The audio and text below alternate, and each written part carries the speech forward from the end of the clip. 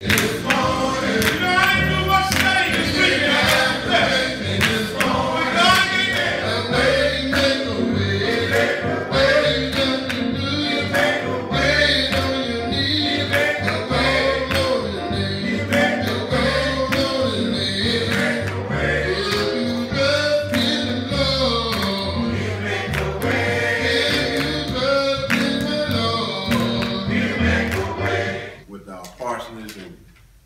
uh, water damages and everything, and we know that we talked about trying to get out of the parsonage situation and everything, and, and that involved a lot of legal stuff, and, and we had to, uh, seek legal guidance, and, and this is where, uh, Attorney Jenkinson uh, came in on the scene, and he's, uh, very diligent, uh, working with us very diligently, and leading and guiding us through that process, a very tedious process, but he, he stand the course and, uh, was able to brought us through on the good side. Amen. And so, uh, we certainly thank God for him. Uh, he did all of this out of the, the kindness of his heart. You know, God has blessed him and led him to do this out of the kindness of his heart. And we're saying that the least uh, that we could do, the least. I mean, we, we wanted to do something more, but he said, no, just spread the good news. Spread the good news of the servant that he. And we want you, please, ma'am, uh, please, sir, let us indeed do that. Uh, go out and, uh, and share the good news of, of what uh, Attorney Jenkinson done for us. Uh, uh, took it upon himself to do this and didn't charge us a, I want to say, a dime. Amen, amen. Out of the kindness of the heart. So we certainly thank God for him. And on this day, we, we pause just for a moment to, to show him, uh, a- a- we don't want to say token, it's not a token, just to show how much we really do appreciate uh, what he has done for us by honoring him with Elijah United Methodist Church, Mr. Jenkinson, we thank you so much for, for your kindness and for being such a beautiful reminder of God's love. Amen. And we just want to thank you for listening to us, trustees coming in, telling you what we want and what we couldn't do, and you work with us. So we just want to say thank you.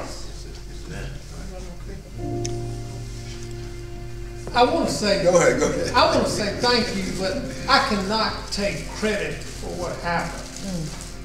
God and the Holy Spirit guided this Yes. whole Yes. And, I, and there's another person that I want you to thank when you see her. And, and what happened when I went to court the first time, it was late in the game, and I asked the judge to put it off so I could get a defense for the church prepared. And he said, Well, who are you representing, Mr. Jenkinson? And I said, God. Amen. And the lawyer for the bank that was doing the foreclosure looked at me. And I said, I'm representing the church, but the church belongs to God. Yes. And that's my client. And so I went back to my office and we worked on a reasonable settlement offer to get us out of this mess. The bank, of course, said, no, no. We're gonna go ahead and not only are we gonna sell that parsonage, but we're gonna sell this church. I said, we're gonna see about that. So I called my good friend Michelle Duke at the newspaper. And I said, Michelle, have you heard about the lawsuit against God? She said, okay, you got my attention. What, what do you want to tell me about it? And I told her what the bank was doing. She said, you mind if I call the bank in Atlanta, Georgia, where all this is coming from, and get a, uh, because I'm going to do a front page story in the newspaper about the lawsuit against God and what they're doing in this church. Go ahead. I knew, it was out of my control then, I knew the Holy Spirit was involved. Right. She called this bank and said, I'm writing a story about the bank's lawsuit against God. And he said, what? You see your lawsuit, you, you're foreclosing against the church in Williamsburg County. But it belongs to God according to the lawyers. He's representing God. And that's going to be the headlines in the paper.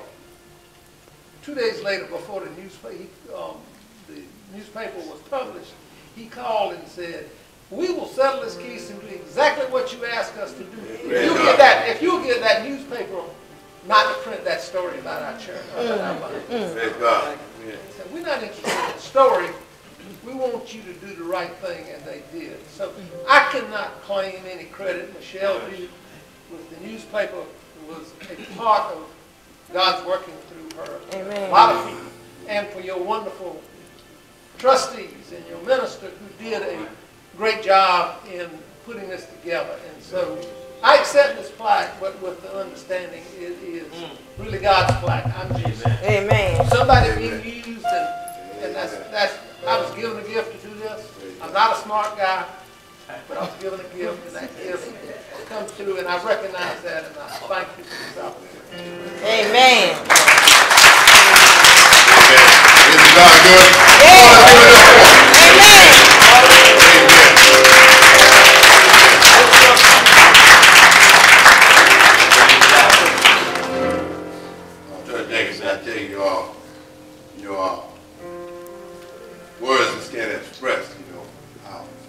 How we feel about what you did. I mean, how you allow the Spirit of the Lord to, to do what you did. And, uh, we just decided to present you with a plaque. We wanted to do more, but we know that you, you wouldn't accept that. And so on behalf of the church, we present you with this plaque, which reads, uh, to Attorney William E. Jenkinson III in, uh, grateful appreciation for your service.